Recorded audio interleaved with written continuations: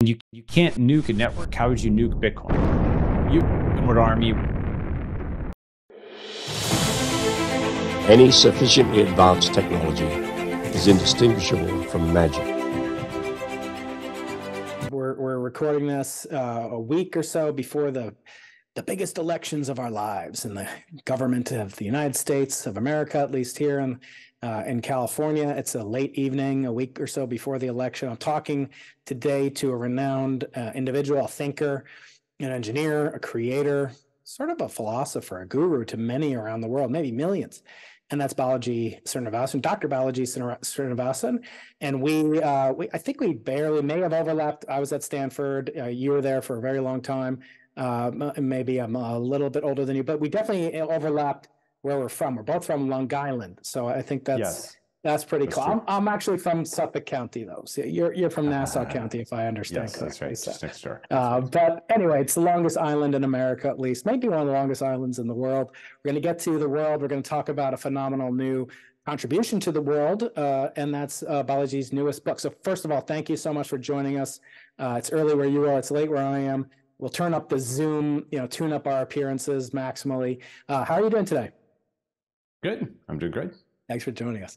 So, as I mentioned, I always like to start off an interview with a renowned author such as yourself by doing that which you are never supposed to do, which is to judge a book by its cover. But Balaji, as you know, uh, what else do you have to go on when you see a new book and all you have is cover and the author's name and the subtitle? So I thought Sure. you would start by uh, how did you come up with the name, the network state, the subtitle, the cover design, and uh, the overall gestalt of this uh, magnificent new book?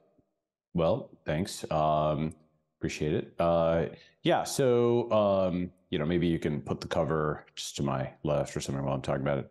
Yeah. Um, you know, the the network state is a seemingly abstract concept that uh, one of the important things that we did is um, illustrate it like as visually as possible on the cover of the book, and then later in uh, the network state in one image, very early in the book in chapter one, like basically the you know, uh, we did the network in one sentence, then we get to network state in one image. Basically, it's two or three pages into the book for the ADD. Okay.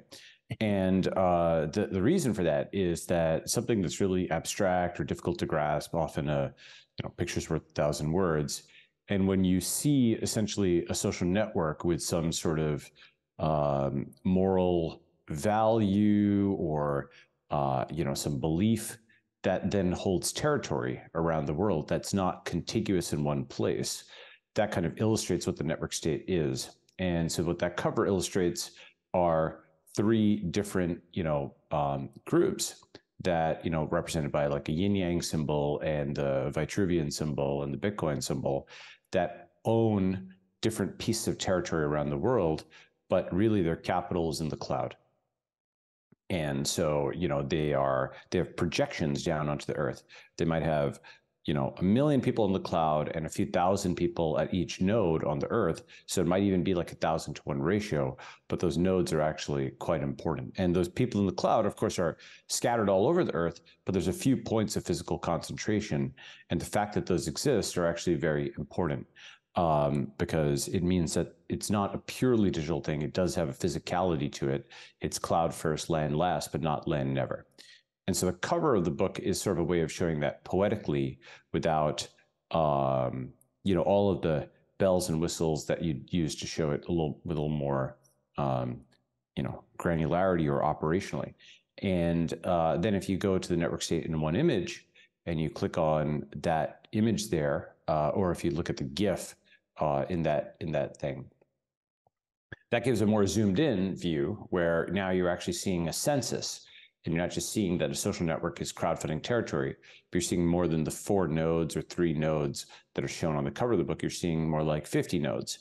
And those 50 nodes around the world have between like a, a thousand to 10,000 people, or actually some go all the way down to one person, just somebody in their room or two, you know, you might, you might require a node to have at least two people. Fine. Okay but uh, you know, let's say it goes down uh, to two, but up to you know twenty thousand people, and uh, but then the, the whole thing sums to a million people around the world, and it sums to a certain number of square meters around the world, and it sums to a certain amount of annual income around the world if you take all on-chain income, And then that second image, the network seed in one image, just a few pages in, shows how you can build something that looks a lot like a state. It's got a population, income, and real estate footprint comparable to that of legacy states, but you're sewing together a piece of territory and population from around the world, much as Bitcoin was a decentralized currency. This is a recipe for a decentralized state, right? So that's what those early images on the cover and uh, in in chapter one are meant to convey. Mm. Um, and I wonder if we could uh, immediately kind of get into the nuts and bolts of, of what a network actually is and the kind of sure. as as I understand the fundamental you know kind of Newton's laws or Schrodinger equation of, uh, of sure. network behaviors Metcalfe's law uh, which which I kind of think about in many ways, but one is entropically and and how you percolate out you know sources on nodes and how those nodes feed together information and the fundamental unit of, of information. I wonder if we could start by uh, sort of you know going back to to Bitcoin itself. It's obviously central. I mean, you play a huge role in the story of Bitcoin, uh, but uh, but I wonder. Uh, I've often wondered. I mean, there's nothing about Bitcoin that couldn't have been implemented, you know, 20 years ago, 30 years ago. Uh, why do you think it mm. took so long? I mean, I'm not diminishing Natoshi, you know, whatever Satoshi's uh, role at all, or, or, any of your contributions, but fundamentally, it's it's a relatively simple uh, algorithm that that's what gives it so much power. Why do you think it came about when it did? I guess that's a succinct way of asking this question. Why why did it take so long, or or, or uh, maybe it wasn't so long from your perspective? Yeah, I mean. Um so the thing is that certain things, you know, like for example, the hash functions that Satoshi used were not available, you know, 30 years ago, to my knowledge, like the elliptic curve work. And so he had to snap together stuff that was uh like if what was the exact date that SHA-256 was published? Um 2001, One, I think, by mm-hmm. NSA. And then um RIPE-MD I know predecessors were at 128 and it wasn't, you know, completely. Yeah, no, it's true. There were there were hash functions and so like basically um, I think there are a few things. First is remember you you needed to have bandwidth suitable enough and enough people who had computers that were permanently connected to the internet to host the Bitcoin blockchain. And um, you know, probably even in the year 2001, maybe you could have done that in academia but at least the initial vision of lots of home computers doing that and being always online and synchronizing back and forth. I mean, peer to peer networks, you know, he cites, he uses the term peer to peer in the yeah. white paper, which had at the time fallen out of fashion. But right. like Kazaa and Skype yes. and so on, yeah. they weren't like that old, right? Like Skype, you know, launched, I think 2004, if I'm not yeah. mistaken, 2003. Okay. So it's like about five or six years after Skype. And then there's a financial crisis, which was the cultural trigger. Yeah. So you had to have P2P networking. You had to have SHA-256 or, or, or probably something similar. At least that came out 2001. It was relatively soon after all those pieces came together, but you know, um, could it potentially have been done sooner? Maybe. The interesting thing is there wasn't, to my knowledge, a Leibniz to Satoshi's Newton. Mm-hmm. That say it's not like there was somebody who was putting those pieces together in quite that way at that time, and they just you know, it's not like Ether- uh, Ethereum is wonderful and it's amazing, but it's not like it shipped, you know, three months later with uh, a different notation but the same concepts. Uh, it, it, you know, it was it was something where Satoshi genuinely pioneered this new thing that people really didn't get for a while mm-hmm. uh, because he started with different premises than the existing system. And so, if you start with different premises, then you know whatever you build from that it's not obvious that it's going to actually be useful like for example if, if people are like okay we're into the concept of internal combustion engines and you build a better one then it's very easily accepted that it's 10% right. better you know you know right. energy or something when you're talking about a decentralized digital currency it's not even obvious still to many people that they want that right why wouldn't i just you know have the bank hold my money or the government hold my money they don't understand the concept of digital property rights or what have you yet and so it's still a non-obvious thing to many people. Um, but right. about I don't know. I think about fifty percent of people get it thereabouts, uh, depending. Uh, when I say fifty percent, um, there's hundreds of millions of people around the world who hold cryptocurrency, and then a large enough number of people now get it on some level that they at least understand why it's around. Let's put it like that. Whether it's 50%, it's hundreds of millions of people. That's a better term for it. In absolute numbers, there's a large number of people who get it now at this point. So that's it. That's the answer to uh, to you know um, why didn't it happen sooner? Mm-hmm. And also asked, go ahead. Mm-hmm. Yeah. Oh, go ahead. Go ahead. You'd also asked earlier, like why the term the network state, um, yeah. and uh, that is just something where you know sometimes you name a book last or you know this is something where I, in a sense i wrote the book in a few months And in a sense i wrote the book in several years because i'd been thinking about some of the concepts for a while mm-hmm. for example one critical concept is uh, people don't just judge a book by its cover they will often judge a book by its title yeah you know for example yeah. how many people have read the end of history versus they've heard the title and a little quick summary and they argue with it based on their sort of compressed understanding Right. That's not necessarily a completely wrong thing to do because that compressed thing, um, you know, is a summary. But what happens is obviously in a in a in a compressed summary, you can't answer every single critique and criticism and so on. And some people would, you know, say, "Oh, Fukuyama didn't consider this, this, and that. End of history is so stupid." And often he had entertained those counter arguments in the book, which you you cannot easily fit into a sentence Type. or two, right? Right. Yeah. yeah.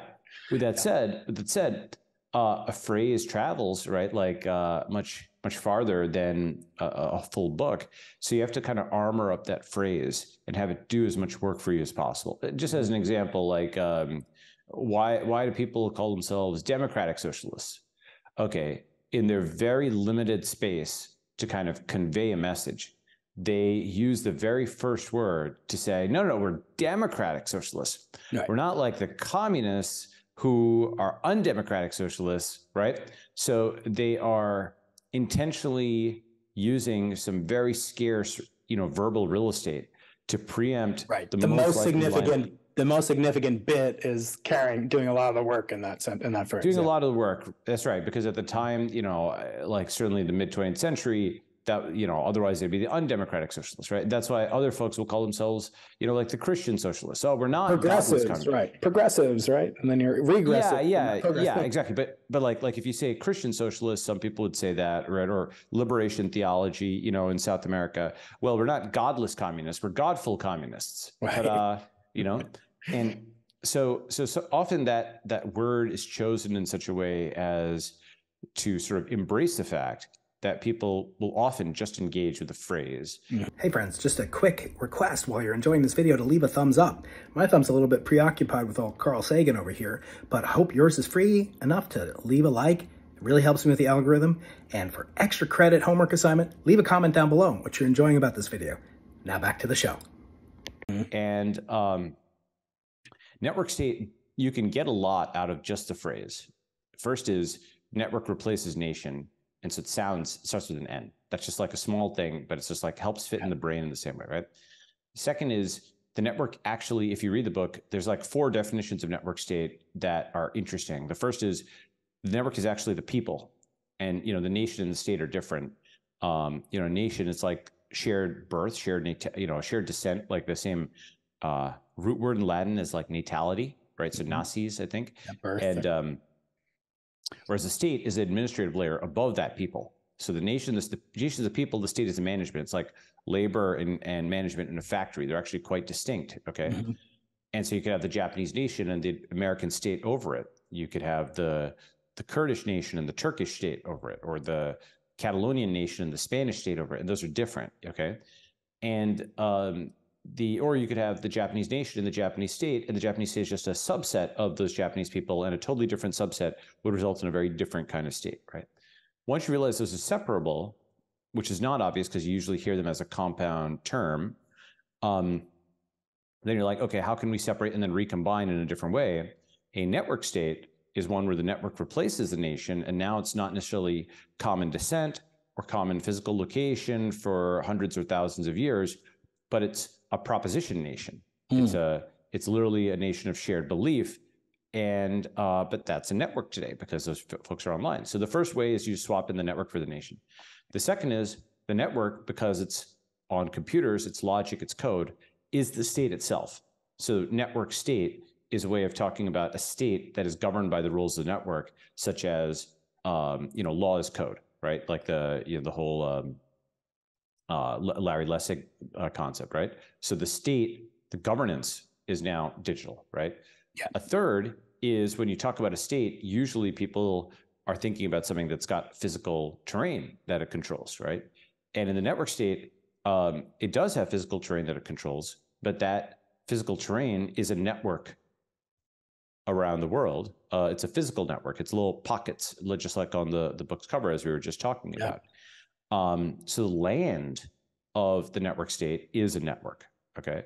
Mm-hmm. And the fourth and perhaps most abstract definition is in the book I talk about like God, state, and network as these three leviathans that people are essentially implicitly invoke on a daily basis. Like they live their lives, they often don't think of this explicitly, but it's like, you know, who is the strongest force in their life? Is it Mhm. Almighty God, right?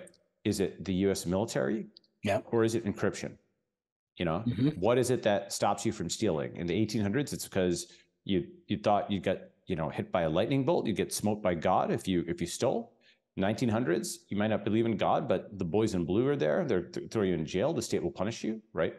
In the 2000s, on the computer network, where there is no obvious God and there is no state, right?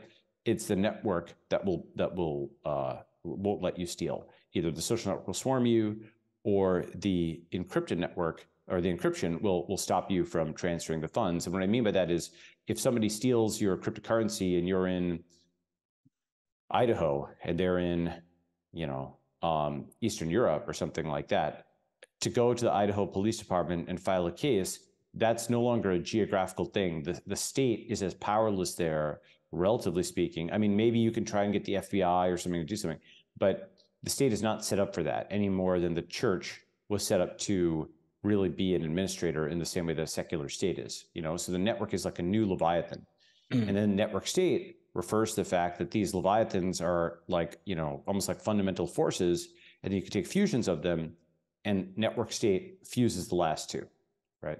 So Yeah. you can get a lot of the title. Go ahead. Yeah, no, there's there's certainly a million different launching off points, and I should say we're limiting this conversation to just twice as long as the conversation you had with Lex Fridman.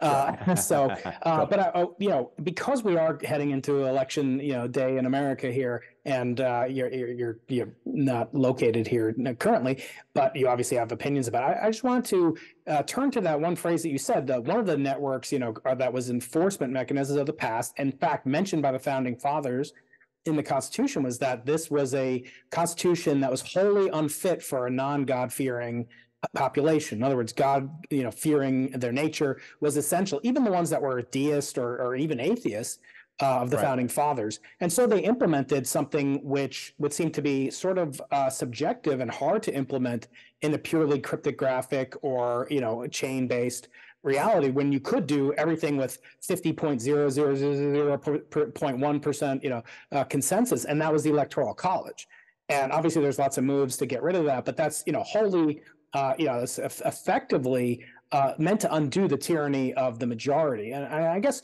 i wonder you know is there is there room in a network state for those um, four different you know kind of concepts or p- previous concepts to still do useful work? In other words uh, if you had a you know a, say a, a theocracy you know could it also tolerate a network state? And in other words are they exclusive say the belief that held together civilization for thousands of years and instantiated laws between men and, and fellow men are, is there room uh, for in such a uh, in such a concept as a network state uh, for God or, or maybe the revert you know the converse question you know if you have a state that is uh, you know uh, purely based on uh, theo- you know some sort of notion of Ten Commandments whatever you want is your moral code is there room for you know another power to make these decisions al- almost exclusively numerically it would seem So is there room for another power to make like political decisions? Is that what you're saying? Yeah, I mean, is No, this or- sort of replacement? I mean, if you if you viewed it, uh, if you viewed the United States Constitution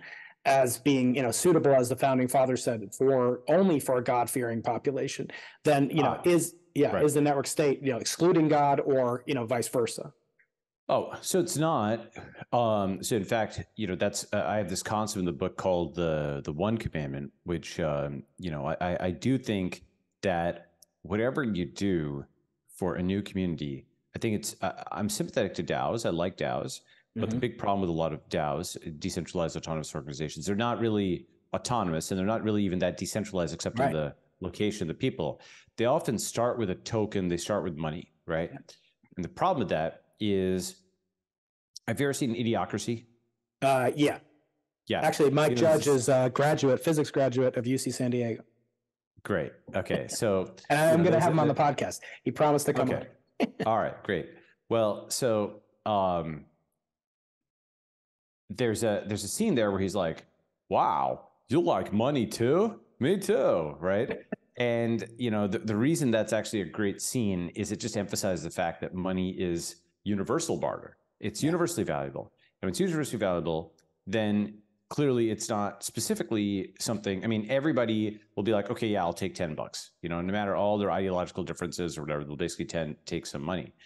And so what that means is a DAO can bring people in and oh wow, we've got 10,000 people in our Discord. Why are there 10,000 people in our Discord? Because they're just waiting for an airdrop. And they'll type it in a funny way, when airdrop or something like that, Right. right? And they're saying it kind of joking, but they're not. They're Yeah. the only reason that they're there is for the money. Right. They don't really have a shared belief. They're kind of right. And so the problem is that while you know economics and money and so on, that's good. You have to have a belief structure first uh, the- of common values. Otherwise, there's many different ways that people can like scam or you know engage in low trust activity with each other if they don't think of themselves as part of basically the same group and they're they're being something other than just this transaction at hand, right? They have to think of themselves as being an iterated game with the other person. And uh, you know, just like I mean, there's a thousand examples of this, but like uh, you know, shrinkflation, Mhm. Yep. that is, right? Yeah. You know, you Hedonic selling- adjustments. Yeah. Mhm. yeah, yeah. You, you're selling, I don't know, uh, milk, but you sell it for the same price, and you call it, you know, uh, you know, milk, but you you just you make the container. It has like uh, less volume of liquid in it, you know, Right. right? And Same size box, or, or yeah, but but you get Yeah. less less fluid uh, mass. less mass in there and and you're just kind of you know you're sort of that, that's like a company which is um it's reducing the amount that you are getting for the same price but it's kind of tricking people into still buying it you know it's on the it's on the line right and there's a lot of that borderline stuff that happens if there isn't sort of shared values between the buyer and the seller. And this is for a thousand things. It's for you know it's for labor it's for you know management it's for a thousand things right? So you kind of have to start whether it's with uh, a shared belief in god you certainly need a shared belief of some in something you know? Mhm. and you know historically you could say the belief in god well that's like a decentralized and scalable enforcer. Why because someone who's a god-fearing man you know that that old phrase Yeah. well you know even if there wasn't a state around to punish them even if there wasn't a state even if they were at the head of the state if they feared god well they'd behave even when no one was watching them because oh you know they might get hit by a lightning bolt or something like that right and so there's a there's a rational sense in which you want an irrational actor who's a quote god-fearing person that behaves even when they cannot be punished. Or more generally they b- believe in something bigger than you know just the state itself. They, they behave well even other than that right?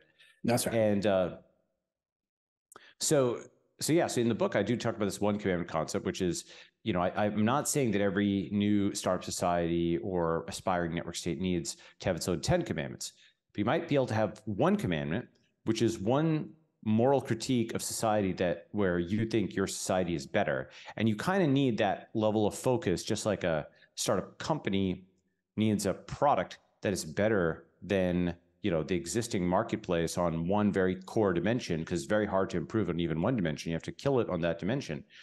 Here you need a moral improvement on the on the uh on society at large. And you say for example just give two examples Culdesac okay they're uh, Culdesac.com they're saying cars are bad right and so therefore car free neighborhood is good walkability is good they start with those moral premises okay and from that, they derive the concept of let's build a car free, walkable neighborhood where the cars should push the boundary.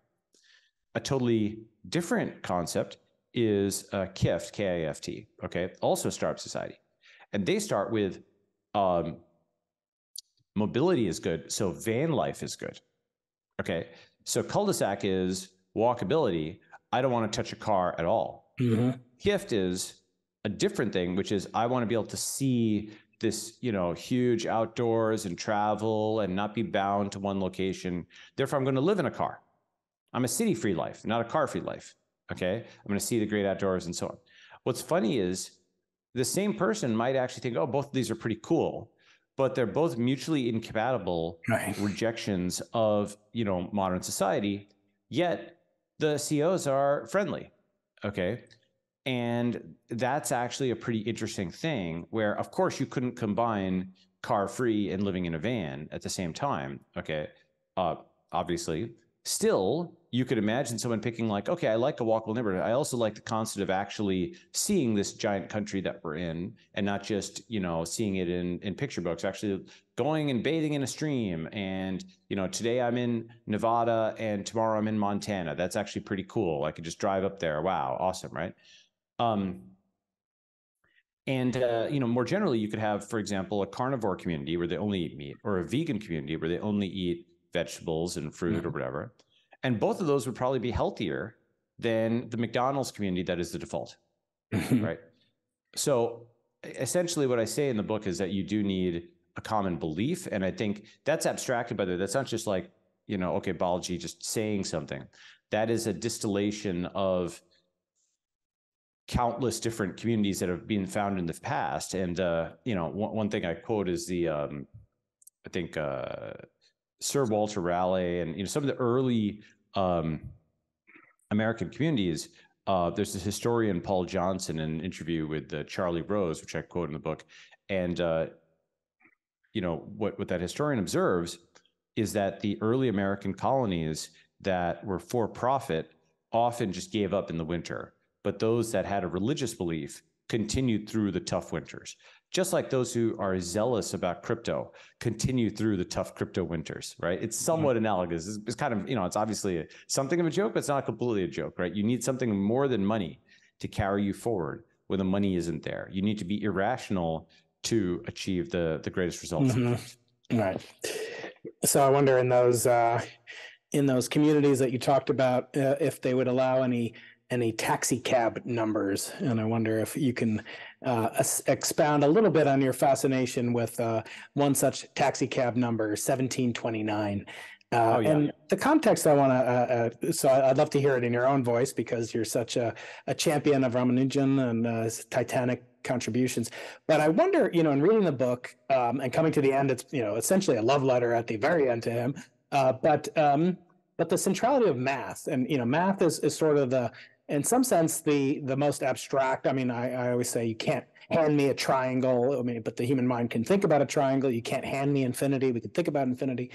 But the level where you know we sort of meet uh, the instantiation of the network state, I think for the first time, it really would be at a base layer predicated on math, right? I mean, a lot of the um, operational behavior and the you know consensus and, and so forth, and obviously the monetary exchange would all be math based. Um, and so it reminds me of of this famous essay by Eugene Wigner, a famous physicist, mathematician, physicist, um, who spoke of the unreasonable effectiveness of mathematics in the physical sciences, wondering why, for example, you Mhm. know, the square root of negative one, why that has any interplay with uh, with electromagnetic E. fields. Right. Yeah Okay, sure, yes. and statistics which from which comes from the properties of the state the mathematics of the state that's the etymology of statistics as you know um, that you know the ca- classic key variable key um, uh, feature metric of that is the normal distribution which uh, describes populations as normal population it has the number pi in it why, why does the ratio of the circle's circumference to its diameter play any role in the governance of a nation so I, I wonder if you could talk a little bit about the centrality of math in the network states and the various configurations thereof. And Sure. uh, and and maybe maybe also along the way we'll get into Ramanujan and why he's so important to you. Sure. Yeah. So on centrality math, you know, one thing you just mentioned earlier in the conversation is that, you know, the core thing about the network is Metcalfe's law. And certainly Metcalfe's law, you know, network effect, scales density squared, that's that's theoretically important. Two things though. First is uh, depending on the actual network, uh, it's often you know much less than n squared. For example, that's number of potential connections, but you know of the four billion people on Facebook, um, right. it's not like they're actually all literally connected directly to each other. Right. Um, there's you know some people have said it's like more like n log n or yeah the small know, world approximation, right? Yeah, exactly. It's more like k times n or, or, something like that in terms of the actual. And you could actually yes. Facebook itself could graph this, and there's there's a bunch of research on this. I haven't looked at the exact curve, but it's not exactly n squared. That's kind of right. one. Yep. The second thing is maybe deeper point related to the mathematics of it. I think for the network, the most important concept, the thing I think about the most, is a very simple seeming thing, but that you can get a, very far with it, and that is the concept of the geodesic graph geodesic distance versus the geographic distance. And uh, the geographic distance or the great circle distance is the distance between two points on the surface of the earth, like as the crow flies from one to the other. Okay. Mm-hmm. And, um, you know, you can you can think of that as you know plane flight distance. You can make a somewhat more complicated version where you know, for example, South Africa and Argentina, you could easily fly from one to the other but to walk from one to the other would have been difficult. So you had to go all the way around the Bering Strait and down, you know, the U.S. Right? Like right. I'm sure someone has done that ancestral like migration of humanity. Though humanity didn't come from South Africa, but you know what I mean? Like that huge walk across Asia or whatever, right? Maybe mm-hmm. it's possible in the in the thaw of the, you know, it's probably not possible anymore. you can't get land bridge, right? right? Yeah. Yeah, mm-hmm. land bridge. So um, point is, you know, whether you're talking about it as a crow flies or uh, how primitive man might walk, right? um, or or surf or whatever, uh, that's that's like the physical distance in the world, and that's the distance that we're used to in terms of saying people are close or far or what have you. But the geodesic distance, the graph geodesic, is the number of uh, degrees of separation in a social network, and that's actually also a distance metric. And uh, in in the technical sense, like you know, d of uh, a comma b and it's like non-negative and mm-hmm. you know it's it's got it, it satisfies the triangle inequality and whatever um, and uh, the the graph geodesic okay mm-hmm. um, that is something which is you can you can build a geography on it you can build a topology on it you uh, you basically have um, something where uh, you know that that shortest path distance between two nodes, okay, um, it's like it's something that you can. Well, first of all, you can do a, a projection of a graph down into two dimensions, and so you yeah. can make graph proximity in this relatively high dimensional space. You can visualize it in two or three dimensions. But second is it gives you a different intuition about how the space works. For example, a node can instantly connect to another node just by friending a bunch of people or it can instantly be very far away by blocking them. Yeah. Right. That we know for like an individual. That now extends to entire groups, which we haven't really seen as much on the internet. But a group can mm. suddenly become adjacent to another group by building a ton of connections there. Or it can suddenly break away from a group by, you know, cutting it. It's as if every continent and nation in the world was on wheels, hmm. right? you know, one thing we sort of take for granted is Russia the entity has kind of been in the same place and it has ancient geographical relationships you know with turkey and with eastern europe and the caucasus and then also on its asian boundary with you know i should say ancient but they have they have long-standing relationships with japan and china right yeah and so you know the borders may expand and contract and that means you know ukraine is inside during the soviet era and it's outside now, but essentially Russia has been in the same place that we kind of take that for granted. By contrast, in the cloud with the geodesic distance, um, you can have you know Ethereum as this cluster, and then Solana suddenly just appears next to it, mm-hmm. right? And it's competing with it or what have you, right? And then uh, you know, Monero is there, and then Zcash just appears next to it.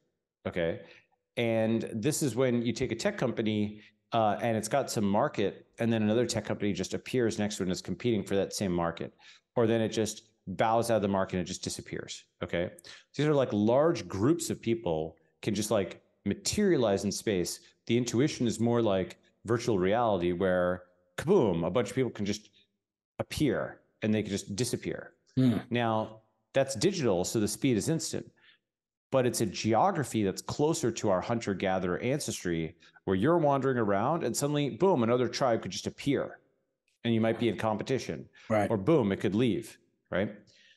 This is just a totally different way of thinking about how states are organized and what have you, because fundamental assumptions about proximity and how governance is done, if the geography keeps changing, then you cannot assume that the geographical borders will remain constant.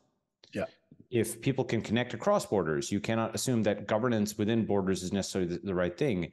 You know, as I was saying to like Lex, like you know, you know what's order older than borders is no borders. Right. because you had hunter gatherers roaming the entire world and there's that aspect of humanity that desires to travel the world and see everything and not be bound. And there's the other aspect that wants you know there's no place like home right? That's a fundamental tension within humanity. And um, the math i think illustrates that where you start realizing the geography of the cloud is just very different than the geography of the land. You can teleport you can be adjacent you can be infinitely far with blocking you can move groups nearby you can move groups far away. It's it's as if you know these clouds like would could float around and they're just much more dynamic and mobile and evanescent and so on than the geography of the land. So i think the metaphor actually you know of cloud and land you can go pretty far with that. Go ahead. Mm. So, um, thinking back, uh, just to close the loop on Ramanujan. So, um, oh yes yep I wanted to ask you, you know, first of all, there are two countries that were formed in 1947, 48, uh, Israel and India slash Pakistan. Um, what do you attribute the success of these two different populations? They figure prominently in the book, uh, you know, in one way or another, and some of the work and conversations that you had. Um, what what makes them so, you know, uh, either you know, prototypical of good or bad aspects of potential network state uh, material? Um, and what do you attribute the success or the, um, you know, uh, they they far outnumber most, uh, you know, kind of ethnicities or nationalities. At least if you take, think of the Jews as a as a as as you know as a ethnicity only, but you know, the, the Indians and Jews do pretty well when it comes to Nobel prizes, for example. Okay, yeah. uh, uh, you know, but uh, nobody's perfect, right? So, um, but but tell me, you know, what, what do you attribute, uh, you know, this to, and and what is Ramanujan specifically? I mean, he he figures prominently in your thinking, obviously, and I don't think you've talked Sure. as much about him specifically. So, what does he mean to you? Yeah, first? yeah, yeah. So, so uh, you know, Ramanujan um, is, as probably most people watching this know, India's uh, you know most famous mathematician, and um, you know had a very romantic life in the sense of you know tra- tragic, but you know like movie worthy. And there's uh, you know you know a, a book and a movie called The Man Who Knew Infinity, and actually Good Will Hunting is based, I Yeah. believe, in part on on his life Yeah. and essentially was this mathematical genius that grew up in you know poverty in India, and um, then what happened was uh, he you know was able to figure out a big chunk of math on his own and wrote Yeah. these letters to all these mathematicians, most of whom ignored him. But Yeah. one guy, G.H. Hardy in the UK, paid attention and basically airlifted uh, Ramanujan out, and thus began just a rampage through math.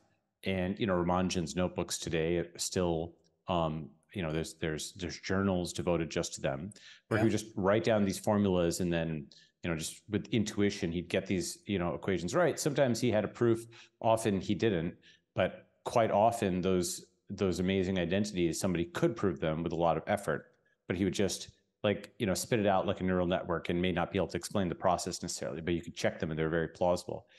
And um, unfortunately, he died very young. Yeah. And uh, you know, when he on his deathbed, um, you know, the uh, uh, Hardy was coming in to try to you know cheer him up and said, "Oh, you know, there's this taxi cab that we came in on. The license plate was very boring. Its number was one seven two nine, and he said, "No, it's the sum of two cubes."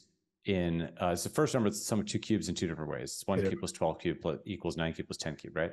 Yeah. And that's kind of like what E equals MC squared is for you know the West and India, right? Mhm. Like because it's uh it's just like this cool equation. I mean, it's it's on the one hand kind of trivial, you know, once you know it, okay, you're just cubing numbers and summing them together. It's more that he was just on a first name basis with every number and could just like whip out this random identity, you know, when someone asked him right about something, right? Right. And um, So, so that's actually something which is sort of symbolizes to me all of what I think of as the dark talent of the world. You know, just like the Hubble telescope, it's all about the dark matter, right? It's all of this dark talent, which um, potentially is just languishing in, in obscurity. And just like we had the Hubble telescope, we now have the mobile telescope, and we can go and find all these people, and we can pull them out, and we can um, we can actually, you know, basically give them the opportunities that uh, both they deserve and that the world needs because we need more Ramanujans, yeah. right? We need mm-hmm. all this talent in, you know, uh, all these places that have just been kind of left out of the 20th century, the quote third world or what have you, or even the second world, you know, people under communist states, people in, in poor countries. Uh, and now they're actually not so poor. Yeah. So so this is something which you know has kind of a mathematical meaning, cultural meaning. It's you know it's obviously important for India, but it's important for the rest of the world. Um, and it's something that I think about a lot. I've thought about for many years, and I think now the time is right to potentially go and um, in the remote first world, you know, try and find these next Ramanujans. Yeah, and I want to dovetail that um, first by asking a question I asked Michael Saylor uh, almost two years ago now, and that was what is the purpose of money? What what is the value of money? I, you know, I said to him, he's a he's a bachelor, he has no kids, no you know, no exes, no spouses of any kind. uh, you know, he said he's, you know, his money is basically going to be for him, and then he's going to save it up, and then he's going to apply it to Saylor Academy and um, education and so forth. But I asked him, what's the purpose of money? You know, that's what you're going to do with it. Uh, but what's the purpose of it? And he basically said uh, power and, and money is, you know, is basically stored up, you know, energy that can be, you know, displaced and used in a variety of ways. And I said, Michael, I hope you're not, you know, forming some like militia, you know, the sailor army. Well, he has a sailor army, you know, obviously, but but not of the violent kind. And may it always be like that. But what is it to you, Balaji? What what does money do for you. I said to him, you know, like from uh, what Charlie Sheen's character said to Gordon Gekko in Wall Street, you know, the first version of it said, you know, how many yachts can you water ski behind? Uh, what does money mean to you uh, in contrast to Michael or, or any other uh, guests that I may have had on? Um, I, I think of money as a tool, uh, not an end in its own right. Um, I've, you know, I, have nothing against money, but mm-hmm. um, it's very much like a it's a it's an, it's an acquired uh, skill that I've had in terms of you know I've very much started out as like a career academic and was just you know doing doing math for a long time and mm-hmm. stats mm-hmm. and you know genomics and what have you. Um, I didn't really think I didn't really care about money too much. Mm-hmm. Um, and I still don't really care about money. I made myself realize, okay, it's an important constraint that you need to use to get things. But there's some people who wake up in the morning and they go to sleep at night and all they're thinking about is how to increase their balance or what have you, right? Right. And um, instead, you know, really, uh, for, for example, let's say that you wanted to understand the genome. Okay. If you get a grant of $50 million and each genome costs you $1,000 to sequence, that's a historic $1,000 genome price. This is yeah. like, you know, 10, 10 years ago. Well, you're limited to 50,000 genomes. But if you can figure out a business model that makes you even $100 per genome on net, you're now unlimited in the number of genomes you can sequence because each new one it adds to the uh, to your data set and um, you can just keep going, right? Mm-hmm. So if it turns out that you need to find a way to sequence a million genomes in order to understand human biology, that now by by solving the money problem, you know, by solving the economics and figuring out a business model that can generate that data, you can now accumulate enough data to be able to diagnose and potentially eventually treat diseases. Right. Yeah. That's the way that I kind of think about things. Um, that's what originally got me into, you know, one of the reasons, you know, that got me into actually, okay, let's build a business rather than just doing things in academia. Because business can scale, obviously, and an academic research paper is not meant to scale. It's right. a limited study, limited study size. Business is meant to potentially grow to infinity.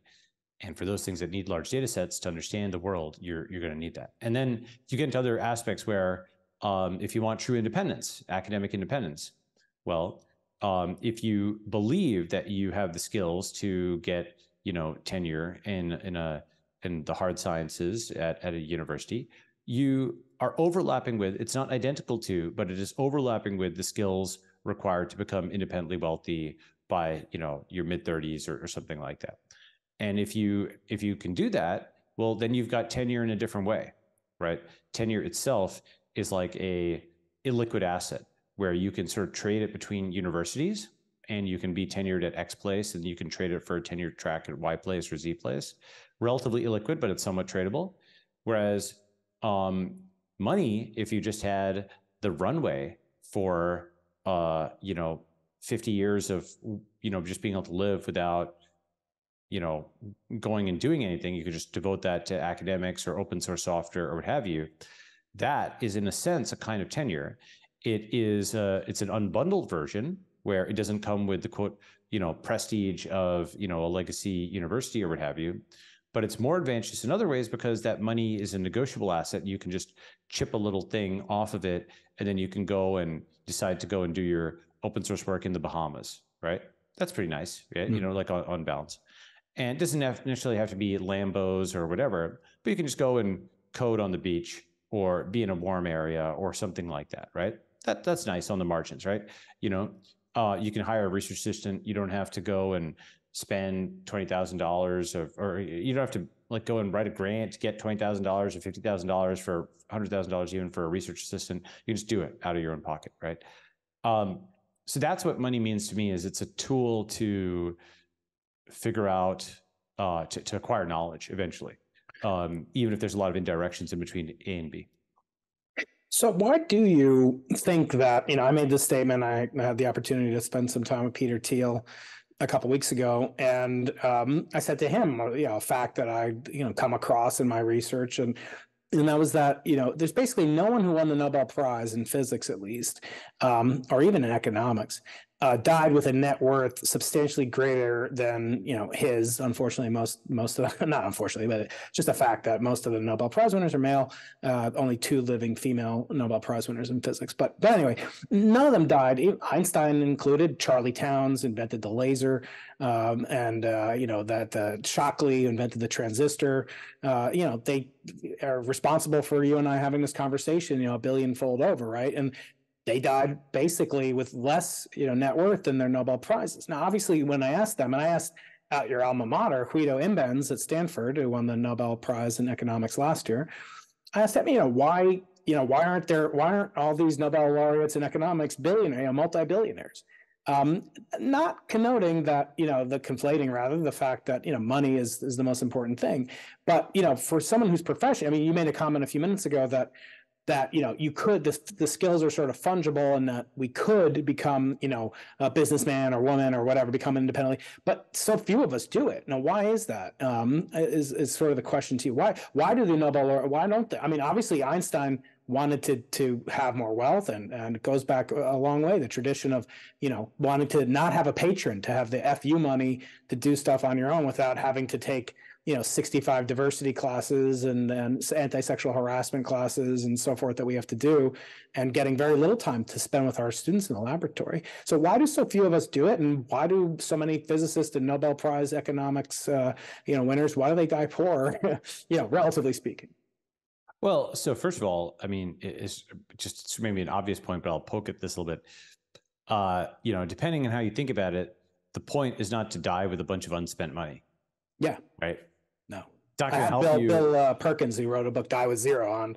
Uh, that's yeah, a, that's a great book. Right, right. So basically, like you know, you can't take it with you.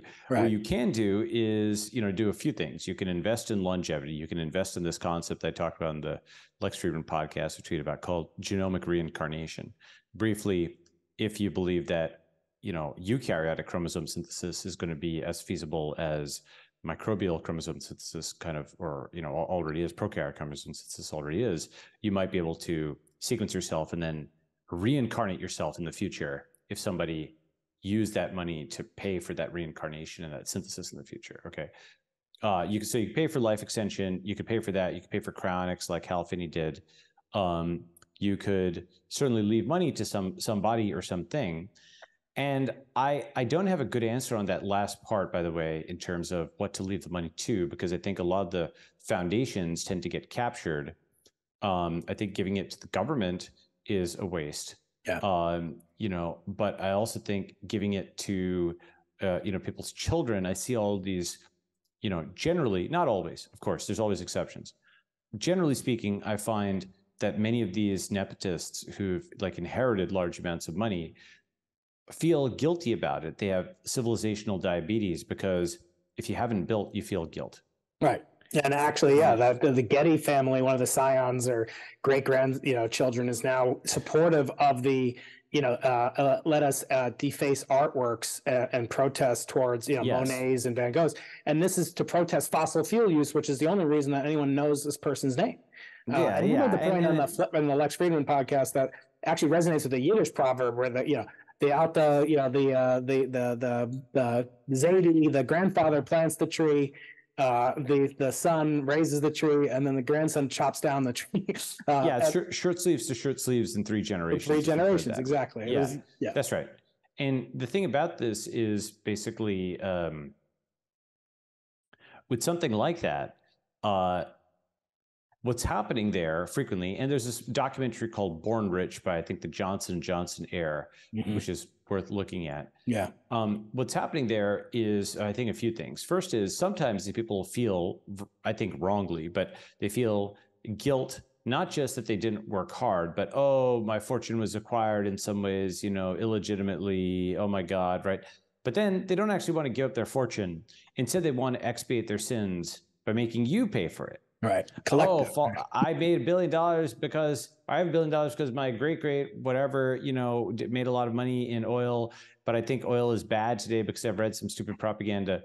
So therefore, uh, you know, what I mean by that is like, um, yes, I think nuclear is better, but like you know, it, it's there's trade offs with everything, and like uh, you know, you can you, you won't have a modern civilization without oil. You wouldn't have yeah. something to complain about with that, right? right. You, you can't make a solar panel without some oil processed along the yeah, way. Yeah, exactly. That's right. You know, like turbines, you know, for wind or solar. Like first of all, they take up a huge amount of space. As if you're seeing like a wind farm or solar installation, it's not like a it little. Can't be recycled. The energy, right? yep. Yeah, the density is just very low. And second is it's you know whatever. But point is, um, these folks for I think bad reasons feel extremely guilty about oil. Um, and the way they expiate their sins is by making you pay. Right. By the way, Balaji, I think you know I don't think there's anything wrong with inheriting wealth. I think you know when you hear people, oh, I'd be rich as you if I inherited money, you know, to some lottery winner. Look how many lottery winners not only lose all their money, but like commit suicide or murdered, sure. or like it's actually very difficult for for these scions or whatever to actually steward their money and and then actually do something good with it. But as you're saying, yes. there is the guilt is a is a very powerful emotion, right? So it yeah, overwhelms so, so, Right. So the thing about inherited, I mean, I'm not like, as I said, I, I, don't have a good answer on this as of now. Yeah. Okay. I don't think it works to give it to a foundation often because that foundation will allocate in a bad way frequently. Ford Foundation, Rockefeller, Carnegie, not in my view, being really good in how mm-hmm. they allocate money. They become very um, they, they just get in, you know entrained with the establishment, right? They are now um, they're just just allocated to the same yeah, stuff. It's, it's nothing the, unique. I mean, actually, the one thing that I do think is a pretty good kind of grant is like the Clay Math Millennium Prizes. Mm-hmm. That I actually think is pretty cool, right? Yeah. Um, that's hard to corrupt. It's genuinely benefiting all of humanity. The solutions to those math problems, if they're derived, easily worth a million dollars each. Um, and that's that's it's it's hard to corrupt and valuable through infinity. Um, you know, it's possible that maybe some open source thing or some smart contract that executed what your wishes could be as good. Yeah. Possible. But um, but yeah, so so with respect to to this, uh, I think that um, why did we get on the topic of inherited wealth? It was uh, the J and J's or you know, um, oh yeah, so the Gettys, right? So what happens is they expiate their sins by making you pay. There's something else which happens, which is when money is in abundance, then people want status. And when status is abundance, people want money, right? Mm-hmm. So when these folks are born rich, oh, they have all the money. Okay, well, now they want to be respected. Well, no one's going to respect them for just being an oil heir. Right. But by taking a stand against oil, right. now suddenly, you know, oh, wow, the chattering classes say nice things about them. So That's they get positive feedback, right? So the social incentives drive it.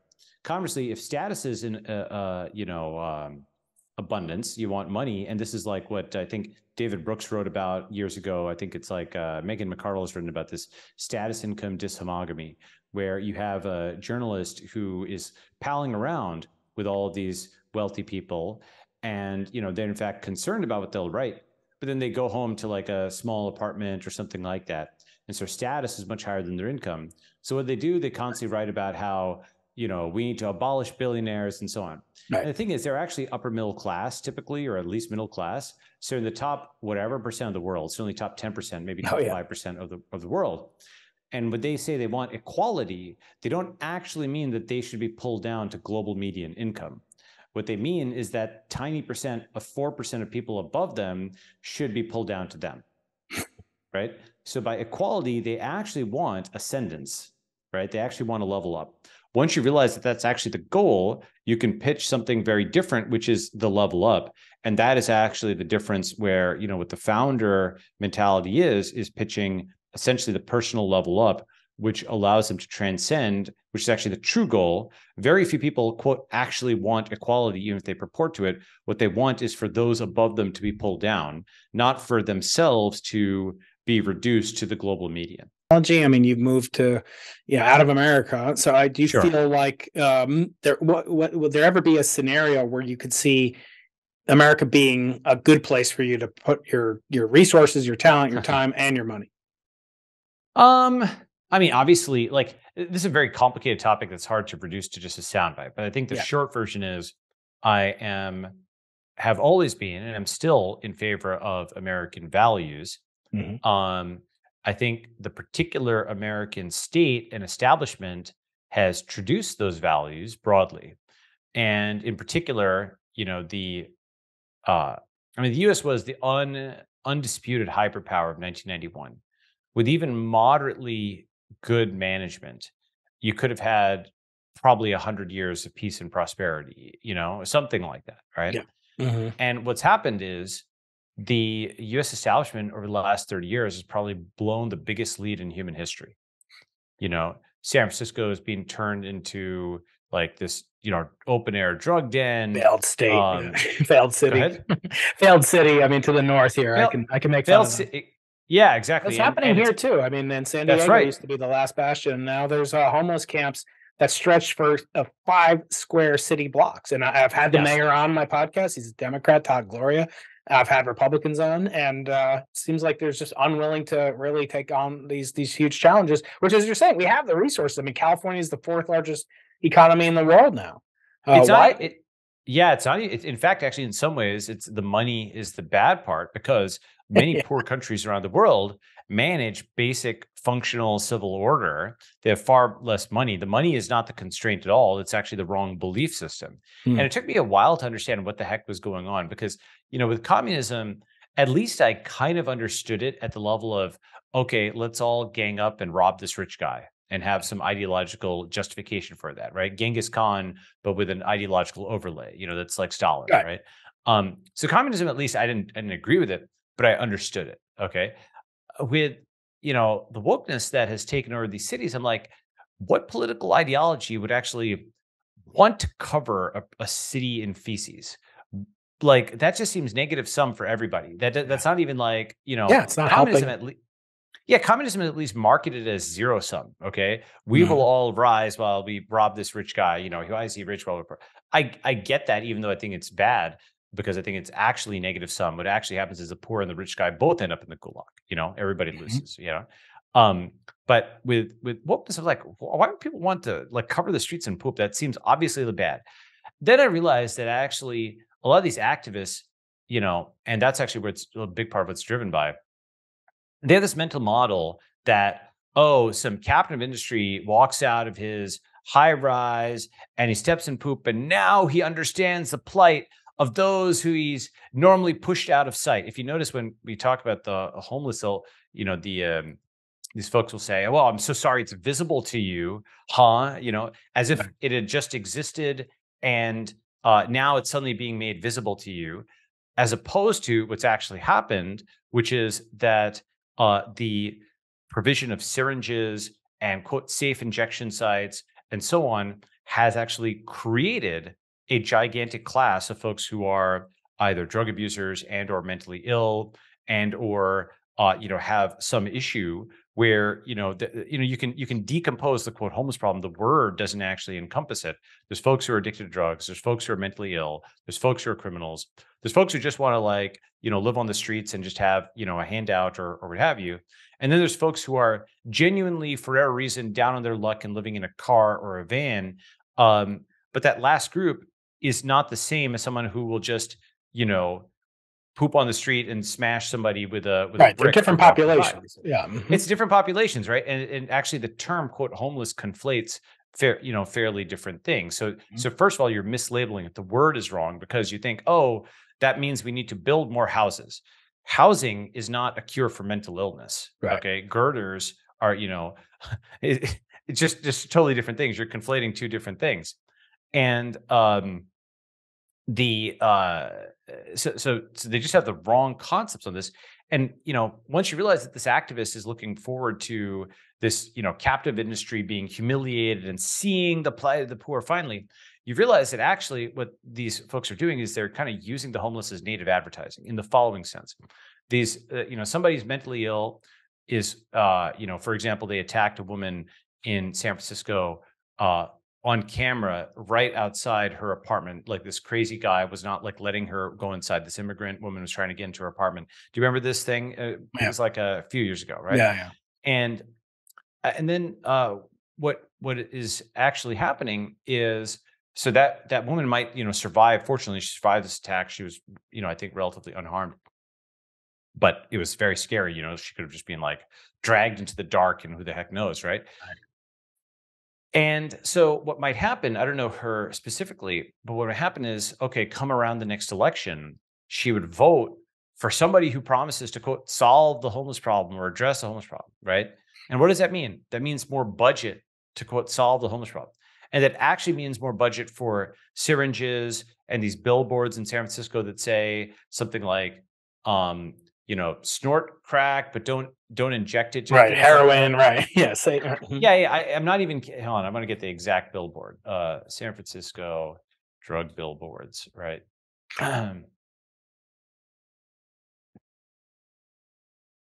Can't go too hard. They might be a sponsor of the podcast, so please don't be too harsh on them. okay, sure, fine.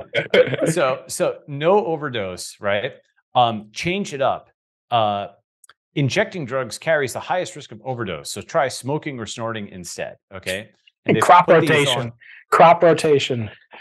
Yeah, they put these on buses. And of course, that you know, like this is marketed as being actually, you know, being real. Come on, man. Obviously, you know, it's naive to say people won't use drugs. So therefore, we just need to kind of meet reality where it is and so on.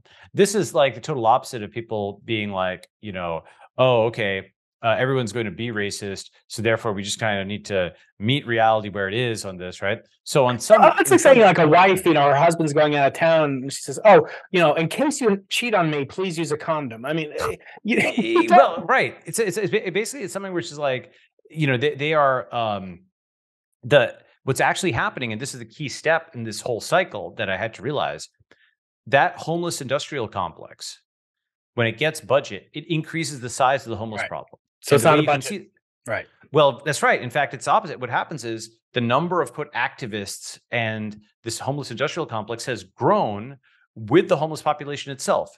So it's the feed the pigeon society. Look at all these pigeons. Oh my God. And they're actually creating the problem. They are exacerbating the problem and they are paid to exacerbate the problem.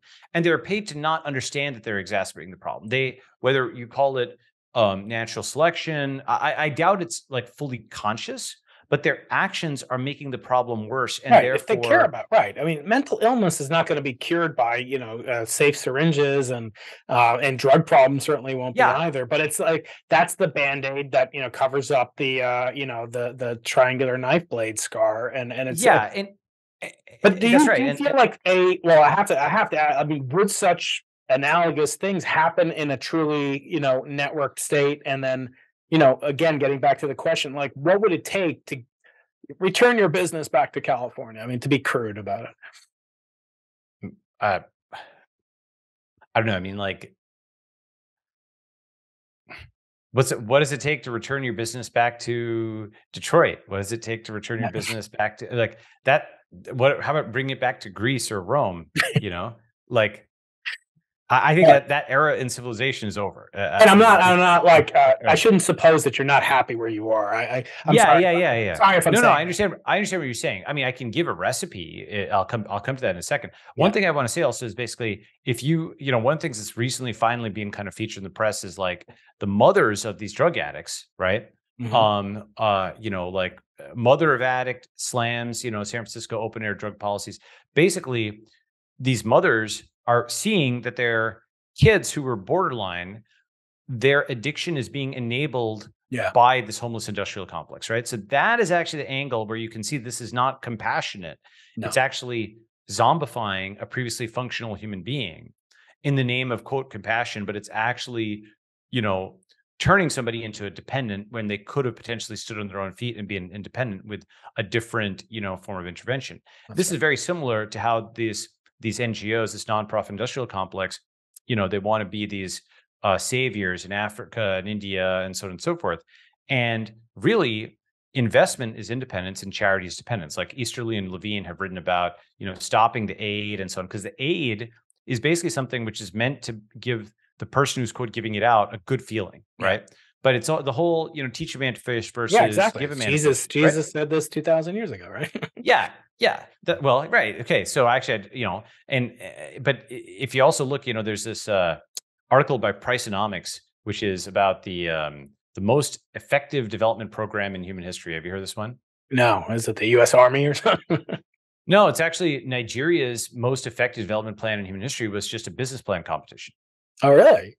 Guess what? Wealth creation. Basically, the thing is, you know, you can do. I've talked about this before, but if you've got a rich guy, okay, they can do one of two things. They can say, "I'm giving out grants," or "I'm I'm making investments." Right?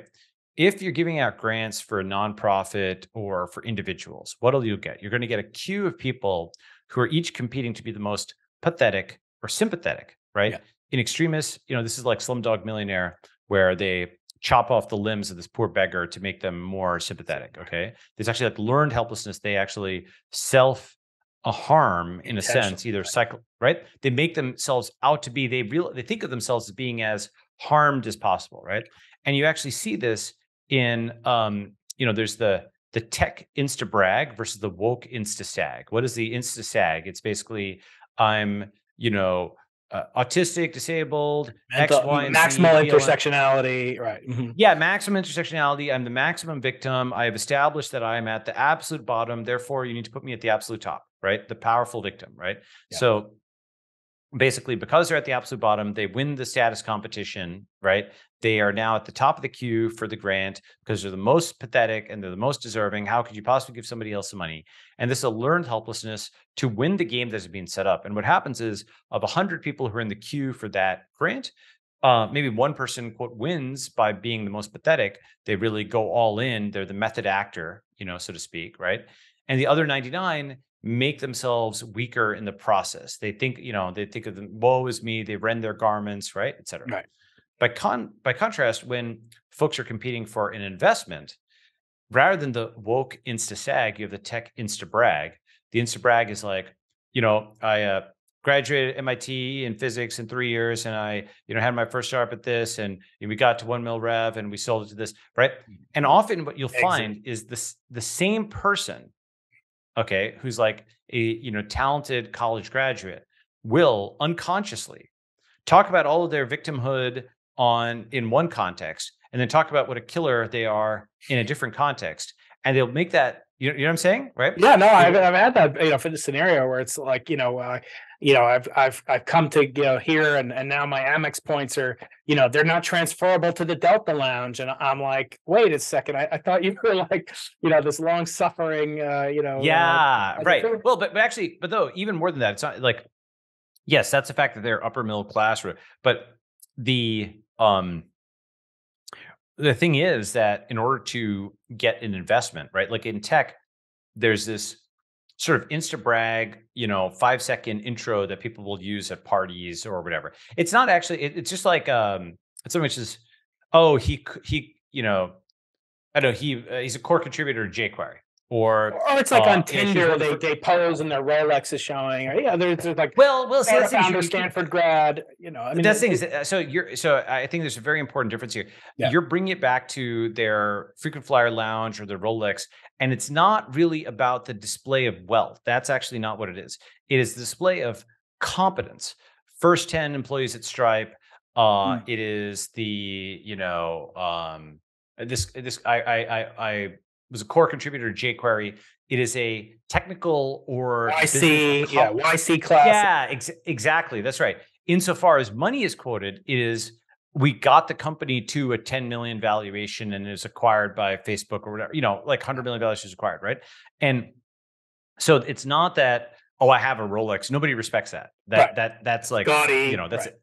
Huh? Go ahead. It's gaudy. Yeah, it's, it's, it's. It's gaudy. Yeah, yeah, yeah. I mean, like I would say, I shouldn't say nobody respects. I'm sure they do on who, like- Tinder. I'm told that you know are, they have to have some way of differentiating the three guys that are going to get the competing for Maybe. the you know one girl, that- right? That that may be the case, right? But it's also like you know who are you going to attract with that or whatever. Yeah, fine, you know. But let's say let's say that there's there's there's maybe something to that. Point is um that th- so what I'm what I'm talking about though here is uh the the inst- instant kind of demonstration of victimhood status versus the instant demonstration of victor status. Like I'm I'm like I am the most convincing victim and I'm the most convincing victor. Those are the two different things, right? Where you've got 100 people that are competing for this VC investment or angel investment, and each person is just straining, you know, be like, close one more deal, right? Ship one more feature, you know, improve the design just a bit to kind of pip the other one and get that investment, right? Now, what happens in that that context? Yeah, just like it's like a it's like a hundred people running a 400 meter dash. Okay, it's true, only one wins, but the other 99, their cardiovascular fitness is improved in the process, right? These folks competing for that investment, that one investment of $100,000 makes 99 people stronger, right? They become better at building, better at designing. Even if they don't win this time, they become overall as wealth creating for the community, right? Right. And that's why this, you know, if you actually, the, the true charity is investment because you're investing in their independence. I mean, another way to see this, by the way, is like, um, if if you're walking down the street and uh, let's say someone makes a hundred thousand a year, okay, and they see somebody, you know, like uh, uh, who's just uh, down on their luck. Okay, if you give them ten bucks, right? Someone might give them ten bucks. Now that's ten thousand dollars, ten dollars, and uh, nine ninety nine thousand nine hundred nine dollars for for the for the person walking down the street. That person walking down the street, how though, is very unlikely to give that you know guy a thousand dollars, let alone fifty thousand dollars, and actually make them equal, right? Right. Um, and uh, so so that person may doesn't actually want equality. If if they were giving thirty thousand, forty thousand dollars, they're like, wait a second, I earned this money. Why am I giving it away? That immediately kicks in once it's beyond just like a, oh, I feel sorry for you. Here's a here's a few coins. Right, Yeah. That's why you'll have Sheryl Sandberg have a press release for giving a million dollars to the ACLU, which is you know 0.0001 percent of her Well, net worth. yeah so, so so what's what's but here's what's happening is um what people are doing with that consciously or unconsciously is sometimes they're assuaging guilt sometimes if it's a public donation like that they're buying status Yeah. but what happens is charity decelerates right that is to say the closer you get to income equality the more that person rises the less the money comes okay which Mhm. means charity never actually attains equality. You know, if that person's at zero, you might give them 10, right? But if that person even had 10,000 or 20,000, if they were like working class and on their feet, you wouldn't, you know, people wouldn't give them, you know, 10 bucks. They'd say, okay, you know, you're on your feet, go, go, right? By contrast, with investment, uh, you know, this is a very famous example. There's many, many, you know, millions of not famous examples. When Peter Thiel invested in Zuck, Zuck was much less wealthy than him. Now Zuck is much wealthier than him, but both of them benefited in the process, right? Yeah. That's like putting ten thousand dollars into somebody. Now they're worth a million dollars. At least until last week. I mean, Peter said he's off the board, and then Meta has crashed, which we're going to get to because I, do want to get. your- Okay, sure. Uh, point, point being that basically with Yeah. investment, you're actually incentivized to make them richer than you. Yeah. And with charity, you're not, right? Mhm. Charity, in, for, in order for it to continue, they have to be poorer than you. They have to be in a dependent role, et cetera, right? So, so a huge part of this stuff is, in my view, a combination of gaining status while having a crew of dependents. It's Yeah. the same process that, that that was run overseas in many of these quote third world countries to keep people dependent that's now being run in American cities. Now you might you said what what, what would be yeah. would have to change to come back to California or. Uh, you know, I, I, I gave a again I think of this as highly implausible, but you know let's just uh, uh, do it for the the um the mental exercise, mm-hmm. right?